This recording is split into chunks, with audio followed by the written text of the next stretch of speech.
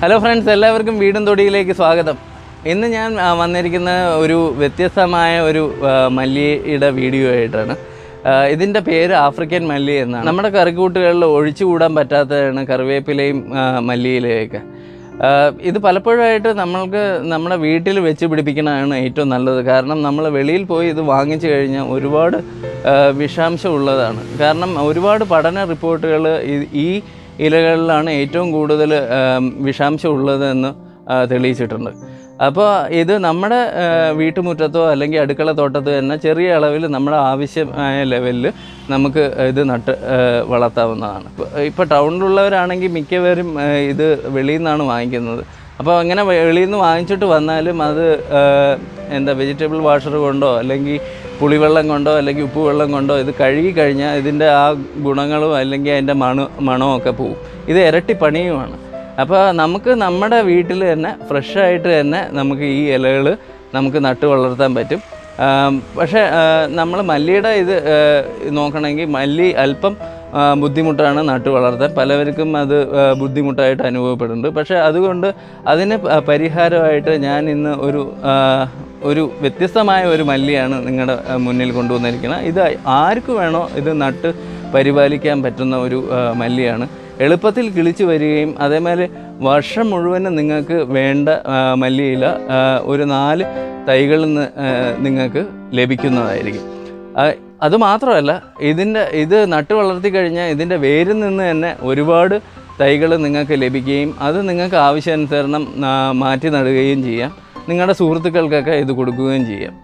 അപ്പോൾ ഈ വീഡിയോയിൽ ഞാൻ ഈ മല്ലിയിലയെക്കുറിച്ചുള്ള വിശേഷങ്ങളാണ് പറയുന്നത്. നിങ്ങൾ ഇത് കഴിവതും കഴിയണ വരെ തന്നെ നിങ്ങൾ വാച്ച് ചെയ്യണം. നിങ്ങൾക്കിത് ഇഷ്ടപ്പെട്ട് കഴിഞ്ഞാൽ പരമാവധി ഷെയർ ചെയ്യുക ലൈക്ക് ചെയ്യുക. നിങ്ങളുടെ കൃഷി ഇഷ്ടപ്പെടുന്ന സുഹൃത്തുക്കളൊക്കെ ഉണ്ടാവും. നിങ്ങളിത് കൊടുക്കുക. അപ്പോൾ ഇതുവരെ സബ്സ്ക്രൈബ് ചെയ്യാത്ത ഏതെങ്കിലും സുഹൃത്തുക്കൾ ഉണ്ടെങ്കിൽ ദയവ് ഇത് സബ്സ്ക്രൈബ് ചെയ്യുക. ഇനി തുടർന്നുള്ള വീഡിയോസ് നന്നായിട്ട് വരാനും നിങ്ങളുടെ സപ്പോർട്ട് അനിവാര്യമാണ്. അപ്പോൾ ഈ വീഡിയോയിലേക്ക് നമുക്ക് കിടക്കാം. പുതിന ഇലയേക്കാളും മല്ലിയിലയേക്കാളും രൂക്ഷഗന്ധവും ഭക്ഷണ പദാർത്ഥങ്ങൾക്ക് നല്ല രുചിയും നൽകുന്ന ഒരു ഇലവർഗമാണ് ആഫ്രിക്കൻ മല്ലി. കേരളത്തിലെ കാലാവസ്ഥയിൽ എല്ലായിടത്തും ഇത് നന്നായിട്ട് വളരും. അടുക്കളത്തോട്ടത്തിൽ നാല് തൈകൾ നട്ടുപിടിപ്പിച്ചാൽ തന്നെ വർഷം മുഴുവൻ മല്ലിയില ലഭിക്കുകയും ചെയ്യും. നീളം കൊത്തമല്ലി മെക്സിക്കൻ മല്ലി ശീമമല്ലി തുടങ്ങിയ പേരുകളിലും ആഫ്രിക്കൻ മല്ലി അറിയപ്പെടുന്നു. സുഗന്ധ ഇലച്ചെടികളുടെ വിഭാഗത്തിൽപ്പെടുന്ന ഇവയുടെ ജന്മദേശം കരീബിയൻ ദ്വീപുകളിലാണ്. അതുകൊണ്ട് തന്നെയാണ് ഇതിനെ ആഫ്രിക്കൻ മല്ലി എന്ന് പറയുന്നത്. ഒരടി വരെ നീളമുള്ള ഇലകളാണ് ആഫ്രിക്കൻ മല്ലിക്കുള്ളത്. ചീരയുടെ നാക്കിന്റെ ആകൃതിയിൽ നല്ല പച്ച നിറമുള്ള ഇലകൾ മിനുസമുള്ളതും അരികിൽ മുള്ളുകൾ ഉള്ളവയും ആണ് ഇലയുടെ മധ്യത്തിൽ നിന്നും പത്ത് തൊട്ട് പന്ത്രണ്ട് സെന്റിമീറ്റർ നീളത്തിൽ പൂക്കൾ കുലകുലയായി വളരും. ഇളം മഞ്ഞ നിറത്തിൽ നൂറുകണക്കിന് പൂക്കൾ വിടരും.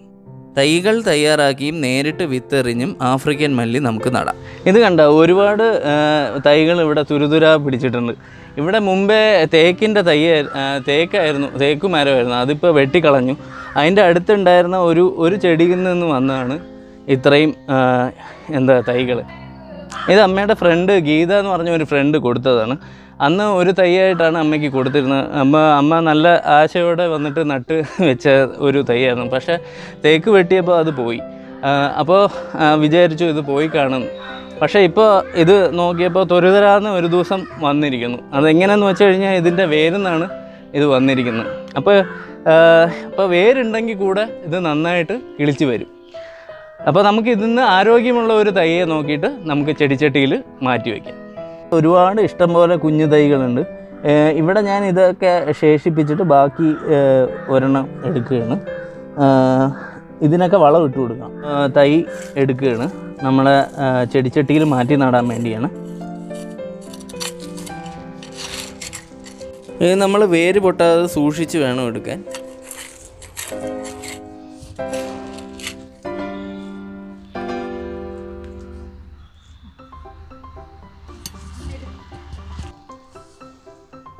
ഇത് നല്ലൊരു ആരോഗ്യമുള്ള തൈയാണ്. നമുക്ക് ഇതിനെ ഒരു ചെടിച്ചട്ടിയിലേക്ക് ഇപ്പോൾ മാറ്റി നടാൻ പോവുകയാണ്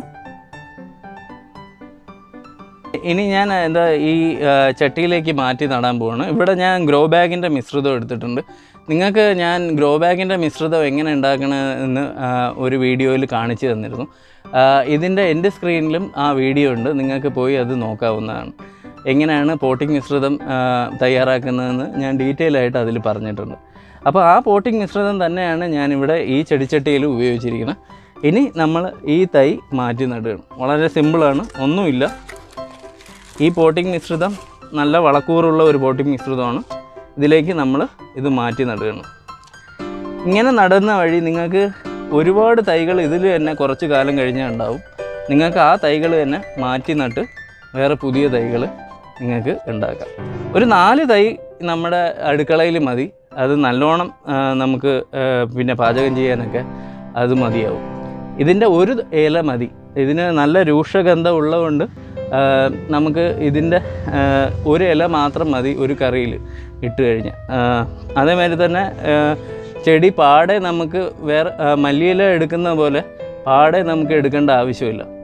ഈ ഒരു ചെടിയിൽ നിന്ന് തന്നെ നമുക്ക് ഒരില മാത്രം ആവശ്യാനുസരണം എടുത്താൽ മതി. അപ്പോൾ ആ ഇല ഇരിക്കുകയും ചെയ്യും. ഒരു നാലഞ്ചെണ്ണം വെച്ച് കഴിഞ്ഞ് കഴിഞ്ഞാൽ ഓരോ പ്രാവശ്യം എടുക്കുമ്പോഴും ഓരോ ചെടിയിൽ നിന്ന് മാത്രം എടുത്താൽ മതി. അപ്പോഴേക്കും മറ്റു ചെടിയിൽ നിന്നുള്ള ഇല വളർന്നു കിട്ടും. ഇത് നട്ട് കഴിഞ്ഞിട്ട് നമ്മൾ നേരിട്ട് വെയിലത്ത് വെക്കരുത്. ഭാഗികമായി തണലാണ് ഇവ ഇഷ്ടപ്പെടുന്നത്. അതുകൊണ്ട് വെയിലത്ത് വെച്ചാൽ ഇവ വേഗം പൂക്കുകയും ഇലകൾക്ക് സുഗന്ധം കുറയുകയും ചെയ്യും. പോട്രയിലോ ട്രേയിലോ നമുക്ക് ഇത് വിത്ത് ഭാഗി നടുകയും ചെയ്യാം. അങ്ങനെ നട്ട് വളരുന്ന തൈകൾ ഏകദേശം ഒരു നാലില പ്രായമാവുമ്പോൾ നമുക്ക് മാറ്റി നടാവുന്നതാണ്. ഇത് മണ്ണിൽ മാറ്റി നടുമ്പോൾ നമ്മൾ മണ്ണ് നന്നായിട്ട് കാലിവളവും കമ്പോസ്റ്റും ചേർത്ത് നന്നായി കിളച്ചിട്ട് വേണം അതിൽ വിത്ത് പാകാൻ അങ്ങനെ ചെയ്യുമ്പോൾ ഒരു പ്രാവശ്യം വളം ഇട്ടാൽ മതി. നന്നായിട്ട് വളർന്ന് കിട്ടുകയും ചെയ്യും. അധികം വെള്ളം വേണ്ടെങ്കിലും വേനലിൽ നമുക്ക് ഇതിന് വെള്ളം നനച്ചു കൊടുക്കണം. ഇത് കറികൾക്ക് മുകളിൽ വിതറാൻ മാത്രമല്ല ഔഷധ ഗുണങ്ങളും ഇതിലുണ്ട്. വൈറ്റമിൻ എ കാൽഷ്യം ഇരുമ്പ് റൈബോഫ്ലാവിൻ എന്നിവയുടെ നല്ല സ്രോതസ്സാണിവ. ഈ ചെടിയിട്ട് തിളപ്പിച്ച വെള്ളം പനി വയറിളക്കം പ്രമേഹം മലബന്ധം ന്യൂമോണിയ ഛർദി എന്നിവയ്ക്ക് ഔഷധമായി ഉപയോഗിക്കുന്നു. അപ്പോൾ ഈ വീഡിയോ നിങ്ങൾക്ക് ഇഷ്ടപ്പെടണമെങ്കിൽ നിങ്ങൾ മാക്സിമം ഷെയർ ചെയ്യുക ലൈക്ക് ചെയ്യുക. ഇതുവരെ സബ്സ്ക്രൈബ് ചെയ്യാത്തവർ സബ്സ്ക്രൈബ് ചെയ്യുക. അടുത്തുള്ള ബെല്ലൈക്കൺ ക്ലിക്ക് ചെയ്യുന്ന വഴി എന്റെ നെക്സ്റ്റ് വീഡിയോയുടെ നോട്ടിഫിക്കേഷൻസ് നിങ്ങൾക്ക് ലഭിക്കുന്നതായിരിക്കും. ശുഭദിനം ആശംസിച്ചുകൊണ്ട് ഗുഡ് ബൈ